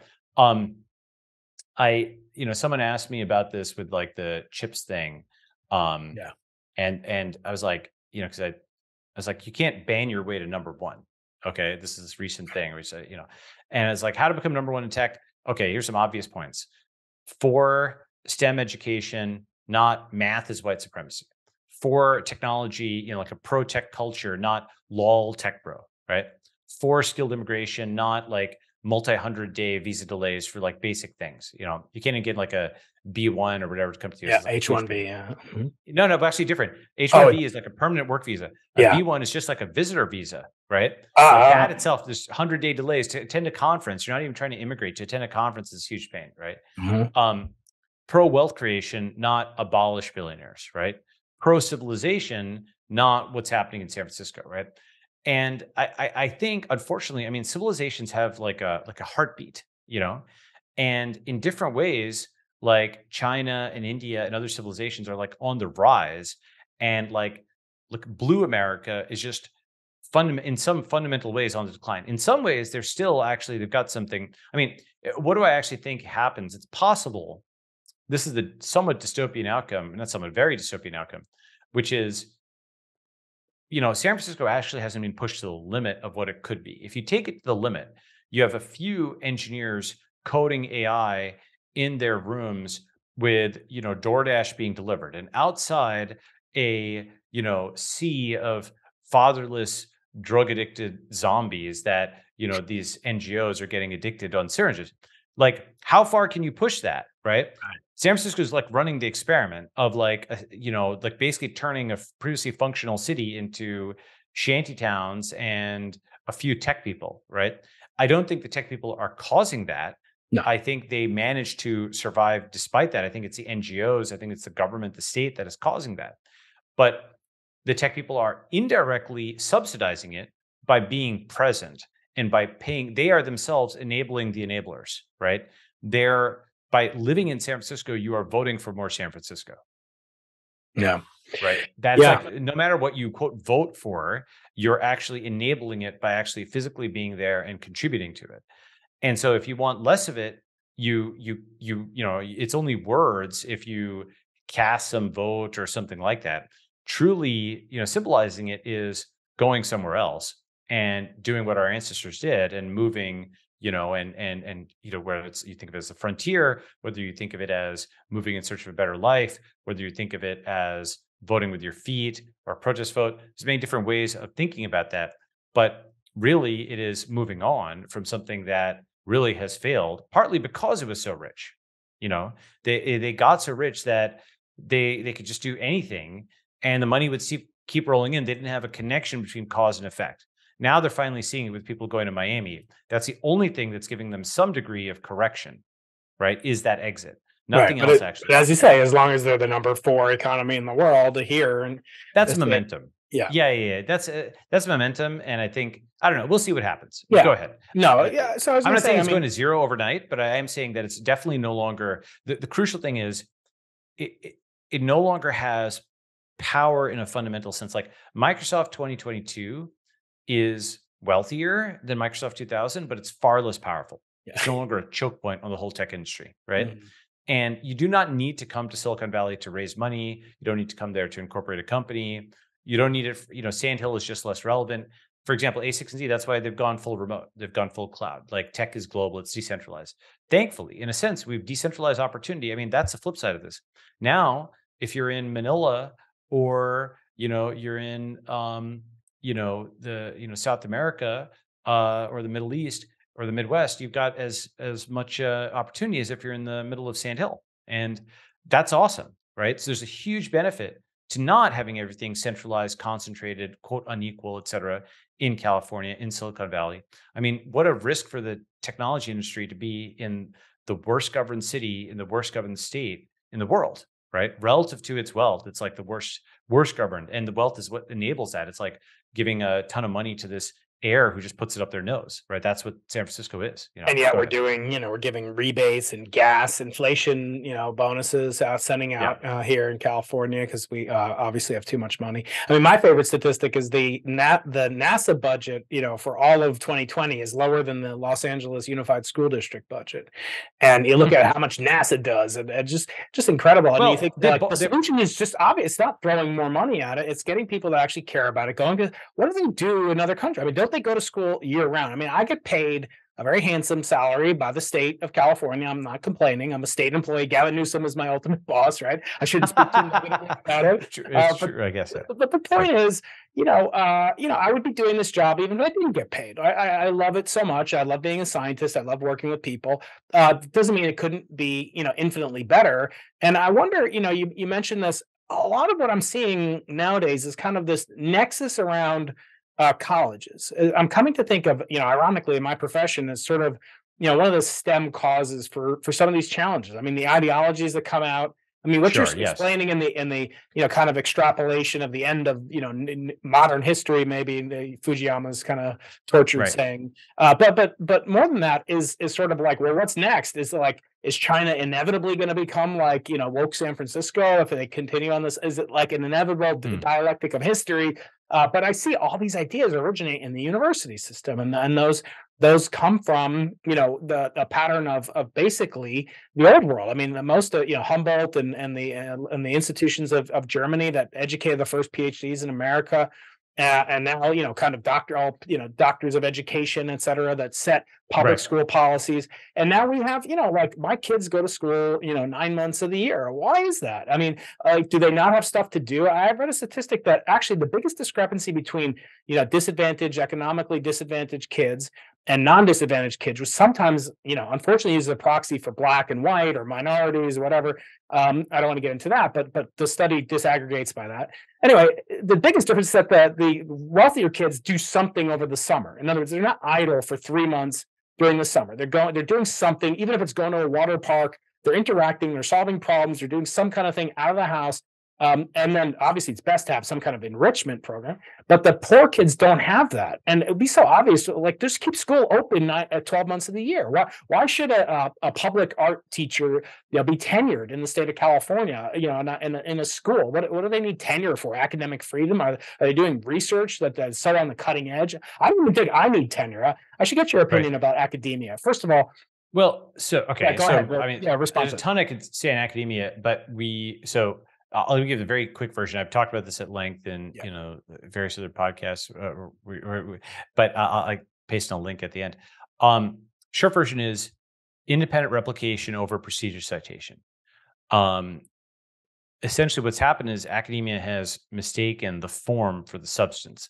The entire infrastructure of NSF and NIH and universities and journals and so on is just you know a superstructure on top of the fundamental i mean it's it's got a few different origins but this uh, i'm just taking the the stem part of it. Um all of that is a superstructure on one person telling another person how to replicate an experiment. That's actually all that truly matters. If you cannot independently replicate the experiment it's not science. Hmm. it may be published in a scientific journal. It may Yeah. look like we think of it with the academic affiliations it may have the form but if the data isn't available if the protocol isn't available if the methods are not independently replicable it's not actually science if you cannot replicate it it's not science that's right. that actually kills a huge amount of stuff which is talked about as science right Yeah. and in fact it also allows you to rank papers you know everyone talks about citations uh, H page index. factor. Which Yeah. is invented mm-hmm. here at UCSD, by the way, my, my colleague Jorge Hor- Hirsch. yeah and there's something you know the thing is it's an interesting proxy variable like you Yeah. know Not actually what you parametric. want to what you want to do is you want to rank papers or more generally ideas by the number of replications not the number of citations. Maxwell's equations has trillions and trillions of replications. Some paper that came out in science or nature last week you know that purports to be this is how you know this virus works or whatever that has like probably zero replications. And we're not tracking the number of replications. That's way more important than the number of citations Although once we do the, you know, to push back respectfully, I mean, once you Yeah. get the Higgs boson mass, it's not like, oh, we have to do it 65 trillion times you know, again and again, uh, that doesn't add incremental surprise or entry, you know, reduce entropy. I don't know about that. And the reason is because, um, for example, think about, let me give a different, think about code. Okay. When you have a um, piece of software, you are effectively, it's not simply a paper, you are replicating the results because you're running it again locally millions of times. And in doing that, what do you find? Well, you'll first of all, you'll find it doesn't work on this platform or that platform. But you'll also start surfacing one in a thousand or one in a million bugs, which uh, you know, in doing it a few times, you might not have seen them, but you un- you surface race conditions, you know, threads that are competing with each other, rare things that arise under odd circumstances, and by just replicating it tons of times, you find that kind of stuff, right? And um, I do think that if you've got just something which is true on the basis of one ex- expensive experiment, you don't really know how true it is. It is Sure. only if you can just do it over and over again and you've reduced it not just to a science, but to an engineering that you can then think of it, you know, if it's flaky science in the sense of it, it kind of works, kind of doesn't, it's like, you know, you have to get the instrumentation just so and hold it just so versus something that's highly robust, then it's not a subroutine that you can use for something else. You know, like the light doesn't just flick on and you can just assume it's going to work, right? So I Mhm. actually do think much more emphasis on replication. And this is uh, it's not unique to me, of course. People talk about the reproducibility crisis in many areas, but that's like one thing I think is rotten at the core. I think I mean there's so many so much more of it. I mean, basically you asked, will China become like a you know woke San Francisco? They actually had their opium period already.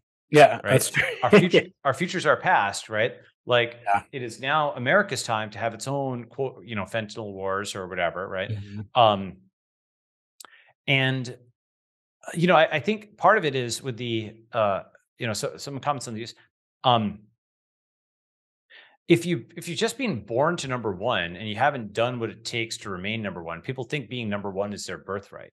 I wrote this article and it's called "Founding versus Inheriting."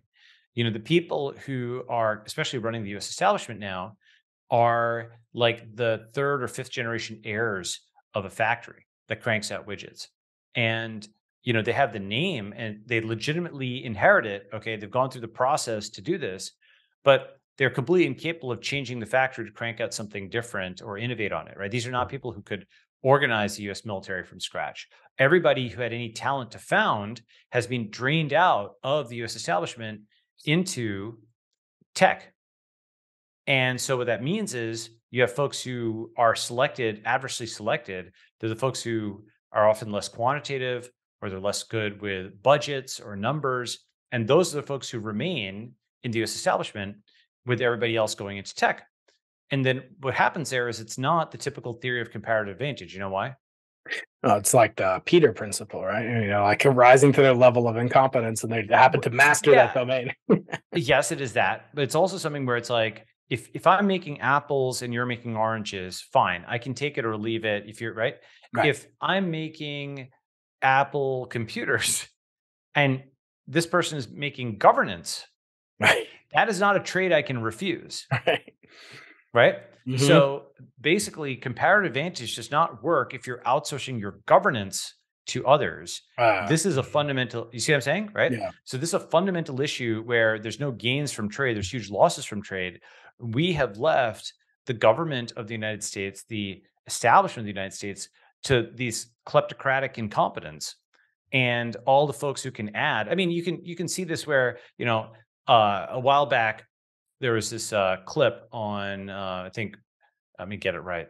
It was uh, Brian Williams and Mara Gay. Okay, so um, where they uh, he's talking about like Brian a Williams trillion, like what uh, the population of America is like a trillion people or something. yeah, it was it was Some it was like uh, right, you know, oh, Bloomberg numerous. could give a million dollars per U.S. resident, and they flashed a tweet. It was such a ludicrous thing where they flashed a tweet on screen that said, uh, you know, that Bloomberg could give every American a million dollars, and they just, it wasn't just that they got it wrong on screen. It was that they didn't have any sense. They couldn't just do basic long division. They Yeah. couldn't. There, there's no sanity check there. Um, they really thought of rich people as being so much richer than they actually are. They, uh, the entire production staff for the, for this media outlet didn't have the most basic contact with reality, And that actually is a. It's like a you know what a dye test is, DYE. Like Uh, no. sometimes, or a smoke test. Sometimes you'll take some dye and you'll kind of put it through a system and you'll just see. it Oh yeah, like an exhaust system, see if there's a leak or something. Right? see if there's a leak, right? So this is sort of like you're tracking something through a system. You're seeing these people can't add, multiply, subtract, or divide. Okay. But they So have blue course they don't check marks. They got blue check marks. Yeah. They have verbal They have ability and they can act. They They can act, but they- yeah. Yeah, exactly. They have verbal ability and they have status, so they can act, but they cannot add. Yeah. And so it is like Dr. Nick, you know, in The Simpsons, he plays, uh, you know, a doctor on TV, right? Right. And so for these people to make policy recommendations, policy equals budget. Budget involves division. And, you know, forget about NPV and talking about like a, you know, that's not even like that advanced math. You can't even divide, you know, a million bucks um or you know divide properly to figure out Right. that that Bloomberg But do you think it's that it's not appealing? Like, yeah, I was uh, noting that there's basically no governor, no senator, all these hotly contested, you know, races and stuff, and backed by this billionaire. That, like, there's not one race in the whole country where anyone's brought up science and technology. They haven't even brought it up. Yeah. And it- a governor. It's insane. They- and and but and, and the number of like scientists in any government around the world, I, I think is pitifully low. I know there's like one or two physicists and um, but but I also wanted to ask you, you know, when you think about you know governing of uh, of a country or, or something like that, uh, I've done a video that's you know knowledge is not equal to wisdom, and and I've had I've interviewed 14 Nobel Prize winners on this podcast, and I'm always trying to see, you know, if a sufficient amount of knowledge can actually be converted into wisdom, and I'm not I haven't come to any sort of conclusion about it, but I guess the question that I that I have is you know, who would you want to run a country? And I guess in your case, maybe you're saying, you know, the people run it, but but I mean, isn't Oh, that well, the kind of Churchill quote that the people, you know, get the government to deserve and they deserve to get it good and hard? Well, so first, by the way, one thing I want to say is, um, if if you look at the, the- I mentioned this example of the math errors and so on. Look at this other you know, tweet that I linked there, the Lorena Gonzalez one. Okay, Uh-huh. Yep. she was replying to Mike Solana, who's a you know VC associate at at Founders Fund. Yeah. or VP at Founders Fund rather, and she's like. Serious question. How does it feel to be a billionaire while promoting companies that leave workers in poverty? Do you feel ever feel bad about the massive inequality? It's not every day that a billionaire engages me on Twitter. They just think of billionaire as being a big number, right? This is the same as when Bernie Sanders like Guess where she saying- lives, by the way, Balaji. is where she lives in San Diego. Yeah. No. Okay. Great.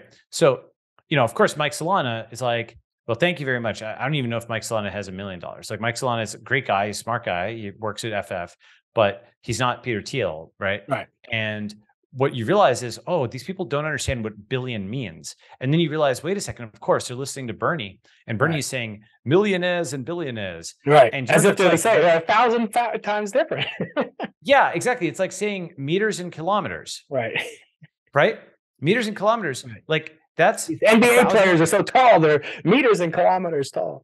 Right. Right. And you know, the number of the ratio of millionaires, I mean, like there's like, I don't know, depending on how you count, it's like uh certainly on the order of five to ten percent. Uh, last I saw, I may be wrong on the stat, but it's a non-trivial number of people if you include house or whatever that have over a million net worth in the US. Whereas billionaires is like a few thousand in the world. It's a much, much different thing. Correct. So you realize, so that's like three examples, like Brian Williams and Mara Gay, that's Lorena Gonzalez, that's Bernie Sanders. They don't actually know what a billion is. Like, Mhm. forget everything else. You know, you're, we're talking about, you know what FizzBuzz is?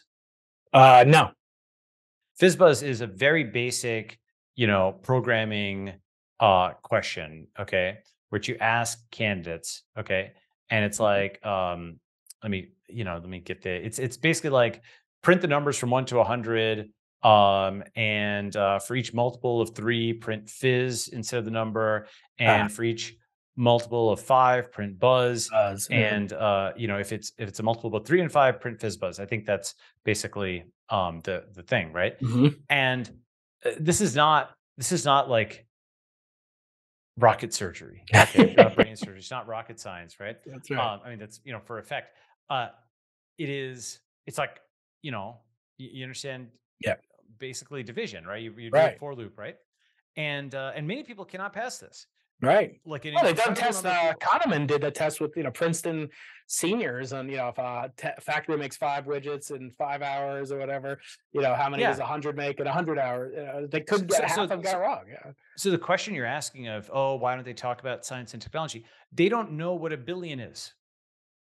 And They- they also, their counterpart. She's the same woman. You know what else she's famous for? There's our, our lovely Congress Assemblywoman here. In, Oh, the one that said "f you" to Elon Musk. yeah, and he said, "Message." Yeah, received." exactly. Help drive. up a hundred That's right. dollar company and left. Yeah, that's right. So, like, basically, these folks are, I mean, they, it's it's like the question of why don't they understand the implications of artificial intelligence and VR and cryptocurrency and you know mm-hmm. whatever. That's just so far beyond. We're talking like it's in a different galaxy. These people cannot do FizzBuzz. Like Right. you can't overestimate. The problem is, by the way, they're verbal and they can act. And so they can give the facade of competence. Yeah. But if you actually gave them a basic test of math, they would recoil like garlic. This is actually why, by the way, including even a single equation in anything you're writing Yeah, makes them cuts it in half. Right, cuts the readership. well, in. well, actually, what it does, it, yes, that's the, that's the conventionalism. Every equation cuts your audience depth. But what it actually does is it makes a certain kind of very, you know, confident political actor recoil in fear because it's like having Chinese characters in the essay. They don't necessarily understand it. So, like, oh, okay, you know, I, I'm I'm kind of Right. So I went to Paris once and, and I went to the waiter and I, I took, you know, one year of, of, of high school French, but I was with a woman, American woman who had lived there for 30 years and she was only like 40. She spoke fl- I mean, you couldn't even tell. The waiter comes up and asks for our order. She orders in French. Waiter says, It's okay, madame. You can speak American to me. I said, Oh, yeah. Well, I would take the six of those four courses. The guy's like, oh, he couldn't write it out. It's like, okay, well, you want to play that game? We can play that game. You know, there's there's no problem. But if you probe them, it's like the old joke, you know, like uh, on the surface they're deep, but deep down they're superficial. And I think, yeah, Yeah, politicians, they're- yeah, they're smart. that's right? right. No, but you don't dummies. They they to get to a level of competency in any field, let alone to you know master this this game. It's not like they hand it out. Uh, you can make Well, fun of right. uh, So, okay. Obama, So oh, he's here's a the community organizer. He's a very gifted human being, very intelligent. But does that mean wise? Not necessarily. So, well, right. So here's the thing.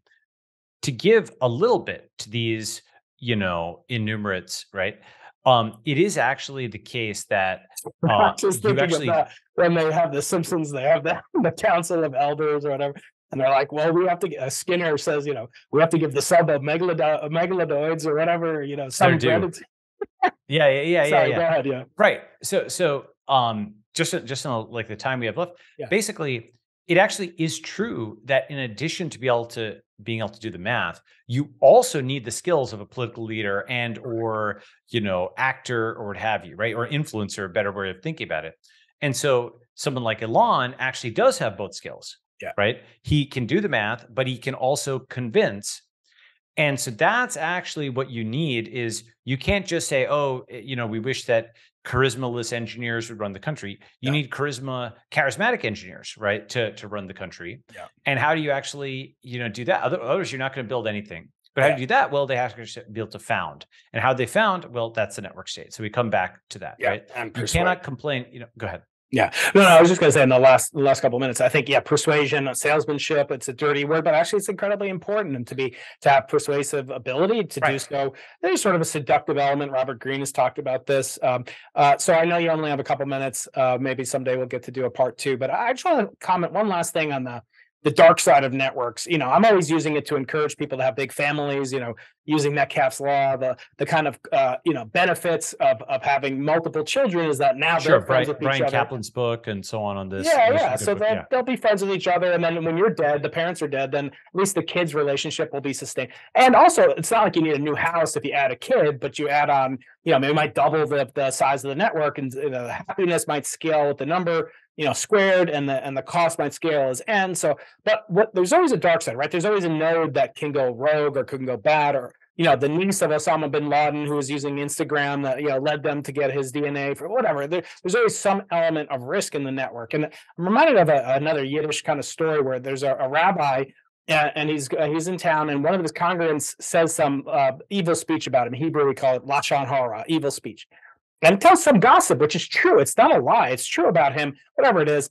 And uh, and then he feels really bad. Yom Kippur comes along. He wants to repent. He says to the rabbi, "Rabbi, how can I make it up to you?" Rabbi says, "Okay, my my my uh, my friend, uh, just get me a feather pillow." Gets him a feather pillow. Great. What's next? He goes, uh, "Cut the feather pillow open." Okay, great. Yeah, uh, I can do that. Am I am I forgiven? Uh, no, no. There's there's one last thing. As the wind is swirling around, go pick up all the feathers what are the risks inherent in a network state, not just the upside, which you've categorized so nicely? In the sure, book. sure. I mean, what, what most people will come to, what most will say is, "Oh my God, you're so unrealistic. It's never going to work," et cetera, et cetera. And they'll say, "Oh, in particular," but people always come back to uh, is um, use of force. Uh, oh, you know, you and what army? Where's the military? You know, you don't have nukes, blah blah. And uh, you know, there's a long and short answer to that. Go ahead. What? No, I'm just laughing. You have nukes. So that's that would be a good thing and uh, nowadays, right? Yeah, yeah. Well, well, the thing is, it's it's basically something where they're not actually they're just sort of reacting at the surface level on something. If right. you know the the reason the internet was invented in part, you know, uh, like DARPA funded it for yeah. something that was nuclear conflict, right? Exactly. That's right. Those resistant to, and and we might actually need to go back to that future where in the event that Putin or whatever sets off a nuke and the nuclear taboo is broken, you may want to have governance structures that are nuke resistant, right? And you can't nuke a network. How would you nuke Bitcoin? That that actually is something where what you're going to nuke uh, uh, billions of people that you don't even know where they are. You need to have an XY location, and they need to be implicitly concentrated in one physical location. If you're distributed, that's actually something that makes nuclear weapons less useful right? It's only if you're sessile and fixed to a location and you have a lot of fixed structures and so on and so forth. And, and if people know where your location is, right? Mm-hmm. So, um, you know, a, uh, there's there's a lot of things where folks haven't really thought about what, just like we talked about earlier, eh, the the cloud geography versus land geography. People have not thought about what actually security looks like in an environment where people are highly mobile, where capital is mobile, where you can encrypt things, where you can distribute and decentralize things. It's not to say that force goes away, but force looks a lot more like drones than nukes, mm. you know, and a lot, lot more like, you know, special ops than huge armies, right? And uh, it's much more surgical and it's tweezers and it's, you know, scalpels. It's not sledgehammers, right? And so they haven't thought about what force looks like in a network world. That's not to say that the, that no sledgehammers exist. There's still obviously huge sledgehammers being deployed in Ukraine and back and forth. But a lot of that is actually also still cloud war. It's also network war. You know, Ukraine wouldn't be where it is without being able to wage a really effective cloud war against, you know, Russia's traditional kind of land war. Um, so I think, you know, you asked what the downsides are. Um, I mean, that's one downside is is just that I think uh, which is not exactly what you're asking, but uh, one downside is folks will try to map this to the things that they've already seen without thinking about how technology has changed things. It's a little bit like cryptocurrency, a lot like cryptocurrency, where um, it, it would, you know, some people get it right away, and for some people, they just have to kind of see it working for a while. So one downside is you just have to make it work before people believe it, but that's fine. I mean, you that the critical thing is for something like this, you don't have to convince everybody. You just have to convince enough people that you can get a small percent. Only a small percentage of people, for example, move to the US. That changed the world. You didn't get the majority of people to move to the US. You didn't even get 10% of the world to move to the US. Only 4% of the world is in the US. And many of those were born for folks who moved there, right? So a tiny percentage moving to the frontier can change everything. Mm-hmm. So in a sense, the quote lack of majority appeal or what have you, you know, is actually is it bad? It's actually good in some ways, right? So that's that's kind of my my quick answer in that. There you go. All right, I know you have to go. I appreciate your time, and uh, maybe uh, we'll do a part two someday, maybe in person. If I ever get where you are, you come back to Long Island. We'll we'll meet up in Ronkonkoma. How about that, Balaji? Ronkonkoma. There you go. Meet me in Montauk. So Montauk, right, yeah, that's even better. East Hampton. All right, Bye, thank you. Take care. Okay. Bye-bye. Bye.